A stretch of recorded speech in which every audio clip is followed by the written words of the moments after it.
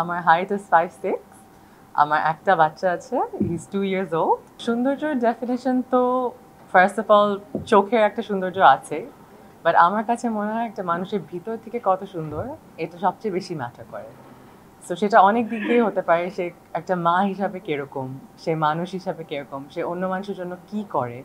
এগুলো সব কিছু মিলিয়ে একটা মানুষের সৌন্দর্যটা বেড়ে চলে আসে।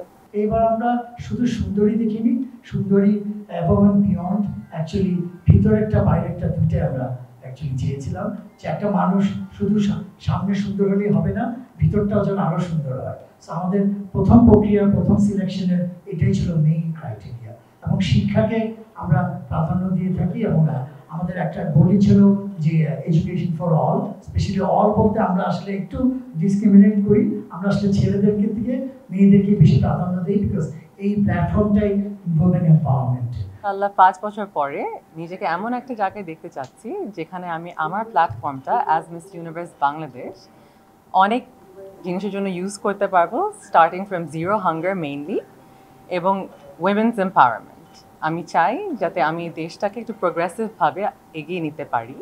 আর আমার মেইন গোল সবসময় জিরো হাঙ্গারই থাকবে।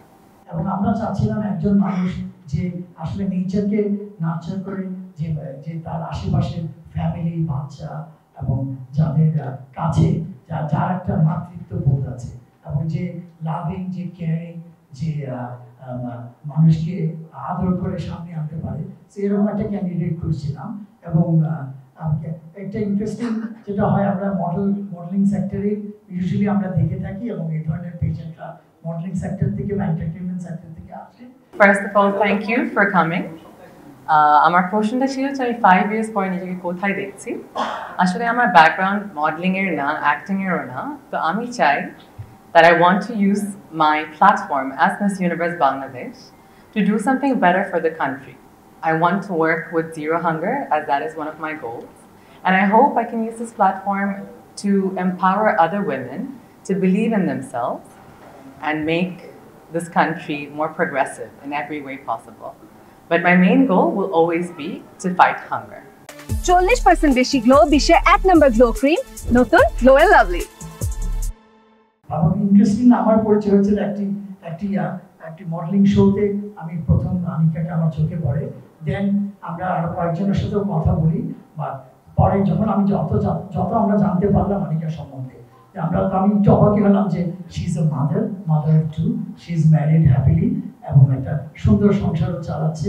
এই সাথে নিজে কিছু ব্যবসাও করছে এবং আমি পরে দেখলাম যে লস অ্যাঞ্জেলেসের মতো জায়গায় মেয়রের সাথে কাজ করে আসছে এবং জিরো হাঙ্গার নিয়ে কাজ করেছে। So all this traits all ওই গুণগুলো আমাকে আসলে অনেক অভিভূত করেছে। এবং আমরা যখন আমাদের ইন্টারনেট টিমে আমরা ডিসকাস করলাম, অন্য মেয়েদের সামনে, এই মেয়েটা কিন্তু অনেক আগিয়ে আসে। এবং অবশ্যই আপনারা চোখেই দেখতে পাচ্ছেন অ্যাট মোমেন্ট আমাদের দেশে দেড় কোটি মানুষের মতন আছেন যারা তাদের নেক্সট মিল মানে তারা কি খাবে এর পরের বেলায়, এটার কোনো তাদের ইয়ে নাই, কোনো গ্যারেন্টি নাই। তো আমাদের দায়িত্ব আছে একটা তাদের প্রতি। তো আমি সেটা নিয়ে সবসময় কাজ করে এসেছি। আমি আমার বাচ্চাকে নিয়ে প্রত্যেক সপ্তাহে যত, যতটুকু পারি আমার থেকে, আমি ফুড ডিস্ট্রিবিউট করতে বের হতাম। So this was before I was working with Miss Universe তো এখন আমি একটা লার্জার প্ল্যাটফর্মে এসে হোপ করছি যে আমি আরও অনেক বেশিভাবে এই কাজটা করতে পারব। অনেকজনকে হোপফুলি সাহায্য করতে পারব। আপনারা যদি আমার সাথে থাকেন আরও ভালোভাবে করতে পারব। So this is what I একটা মা, একটা বাচ্চা হওয়ার পরে যে এত সুন্দর থাকতে পারে, সেটাও কিন্তু একটা অনুপ্রেরণা।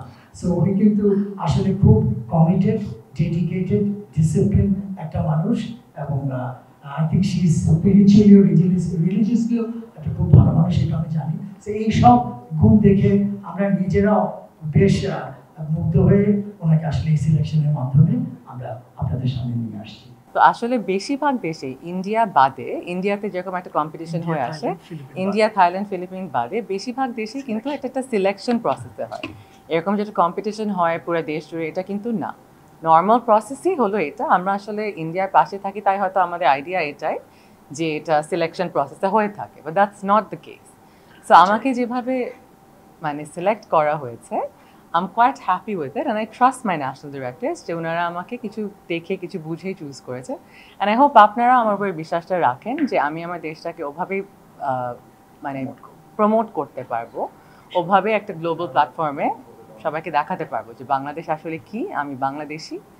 So I hope you can help me and support me with that ইউরোপে খুব সিলেকশন প্রসেসটা কিন্তু ওরকমই। আমরা যেভাবে করেছি ওরকমই actually it's a process of selection এবং national director has the power এবং ন্যাশনাল ডিরেক্টর হ্যাজ দি এবং ন্যাশনাল ডিরেক্টরকে এভাবেই চয়েস করা হয় যার এই যোগ্যতা আছে।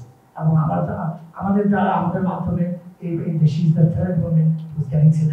এবং আপনারা আমাদের প্রতি আমার মনে হয় আমাদের এই তিন, তিনবারের মধ্যে বেস্ট আমরা পেয়েছি। যে শুধু সুন্দরীও না, যে উনি কিন্তু সুন্দর হাঁটতেও পারেন মডেলিং ইন্ডাস্ট্রি যেরকম উনি কিন্তু র্যাম্প মডেলের কাজও করেছেন এবং ওনার শুধু ওইটাই নেই আমার মনে হয় বড় আঙ্গিকে আর উনি ভালো করবেন এবং আমরা যদি মানুষকে সুযোগই না দিই, তাহলে এই প্ল্যাটফর্মের কোনো দাম নাই, এটা আমি পার্সোনালি মনে করি।